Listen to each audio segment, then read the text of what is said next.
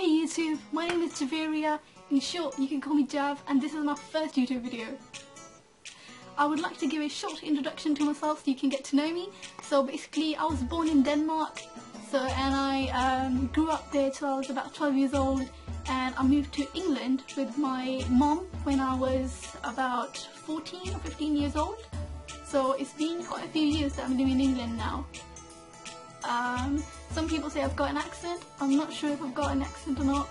Um, maybe that's because I was speaking Danish as my first language. So I, I don't know. And basically, I want to do YouTube videos because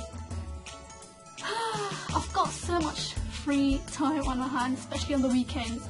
So let's see. I don't know where this is going to take me, but let's see. I just want to go with the flow and I was thinking maybe I should I could do something like uh, question and answer sessions with you guys uh, and that's because um, I've got higher education experience, I work in a university, I've done my degree in business management so I'm 22 years old, I've got some experience in life so you can ask me questions. Great. So uh, I guess I'll, uh, how long is the video? I don't know how long the video is right now. But anyway, hopefully I'll see you guys soon and take care. Bye for now.